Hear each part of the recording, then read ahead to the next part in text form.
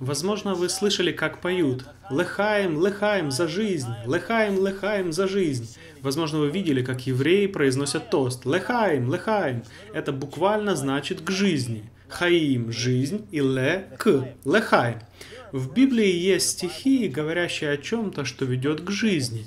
Например, притчи 11-19 стих. Там говорится «Держащийся праведности будет жить, а гонящийся за злом умрет». И буквально это звучит к жизни.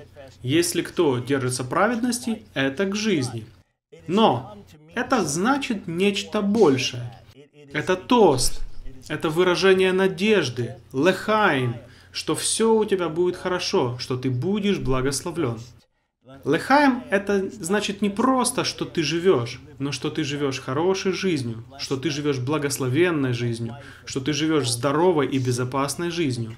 Все то, что вы пожелали бы кому-то.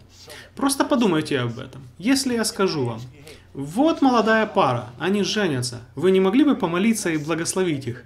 Как бы вы помолились за них?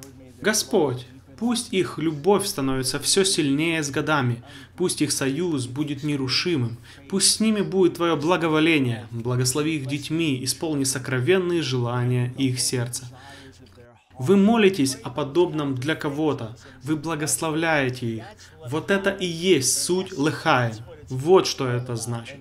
И я могу сказать это каждому человеку, потому что это мое желание, чтобы их жизнь была в гармонии с Богом, а в гармонии с Богом они будут благословенны. Но и еврей-атеист может использовать это слово, потому что это не только религиозное выражение, это выражение благополучия.